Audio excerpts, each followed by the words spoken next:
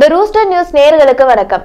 ரஷ்யாவுக்கு ஏழாயிரத்தி இருநூறு கோடி கடன் அளிக்கப்படுங்கிற பிரதமரின் அறிவிப்பை சீமான் அவர்கள் விமர்சிச்சு பேசியிருப்பது மக்கள் மத்தியில சந்தேகத்தை ஏற்படுத்தியிருக்கு.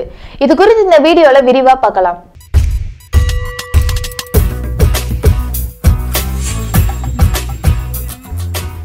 கிழக்கு மண்டல பொருளாதார கூட்டமைப்பின் மாநாட்டில் கலந்துக்கிறதுக்காக பிரதமர் நரேந்திர மோடி அவர்கள் செப்டம்பர் மூணாம் தேதி ரஷ்யாவுக்கு போனாரு.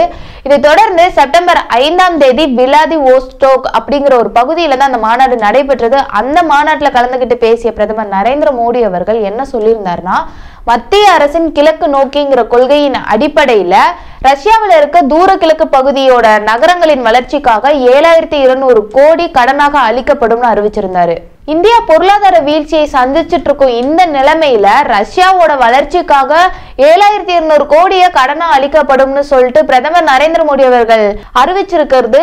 அது ஒரு பெரிய சர்ச்சையை ஏற்படுத்தியிருக்கு. இதை நாம் தமிழர் கட்சியோட தலைமை ஒருங்கிணைப்பாளர் சீமான் அவர்கள் விமர்சிச்சு பேசியிருக்காரு. அது இன்னும் பரபரப்பை ஏற்படுத்தியிருக்கு.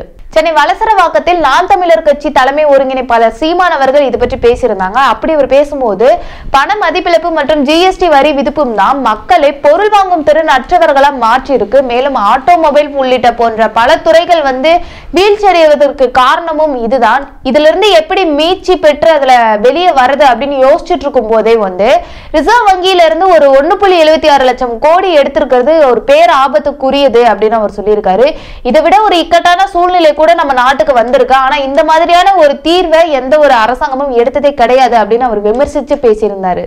மேலும் ரஷ்யாவிற்கு கடன் அளிக்கும் பிரதமரின் அறிவிப்பை குறித்து கூட அவர் விமர்சித்து பேசியிருந்தாரு. அப்படி அவர் பேசும்போது என்ன சொல்லியிருக்காருன்னா தற்போது நாம் ஐம்பத்தி ஏழு லட்சம் கோடிக்கு மேல கடனை வச்சுட்டு இருக்கோம் இது மிகப்பெரிய ஒரு பொருளாதார இக்கட்டில் தான் நம்ம எல்லாருமே இருந்துட்டு இருக்கோம் ஒரு ரெண்டாயிரத்தி ஐநூறு கோடி வந்து முதலீட்டை தமிழகத்துக்கு கொண்டு வரதுக்காக முதல்வரும் நாடு நாடாக சுற்றி வந்துட்டு இருக்காரு ஆனா பிரதமர் இந்த மாதிரி ஏழாயிரத்தி இருநூறு கோடி ரூபாய ரஷ்யாவிற்கு கடனா கொடுக்க போறாரு அப்படின்னு அறிவிச்சிருக்காரு. இது எந்த வகையில சரியானதா இருக்கும்னு ஒரு கேள்வி ஒண்ணு எழுப்பியிருக்காரு.